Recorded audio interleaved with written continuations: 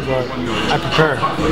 John's a great wrestler, and uh, you know we used to train together. He's a he's an American champion wrestler, college wrestler in NCAA, you know Division One. So I know he's a great wrestler, and uh, of course I got to get my wrestling sharp. I got to get my defense sharp, and uh, you know I can pull off a takedown too, maybe. So uh, I got I got some sneaky stuff. I've taken taken good wrestlers down before, so so I'm not gonna say I'm not gonna wrestle him because you know, he's, he's not on. If he's caught on wrong foot, he's taken down. You know?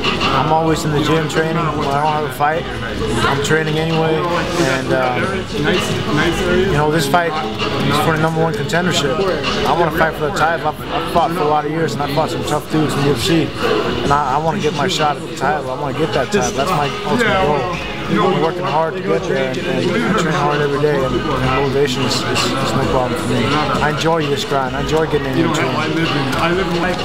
I had a tough fight with Carlos Condit, and I got a win over him, and seeing him do great is just a testament to, to me having a tough fight with him, you know. Uh, he's beaten a lot of tough guys, and, and uh, that's just good for me. I win over him. Of course, I'd love to fight him again as long as he's the champion. That, that's a great fight for me, you know. Got, I, want, I want the real belt, though. Carlos, uh, Carlos Condit is not you know, real belt. GSP's got the real belt. He gets beats GSP.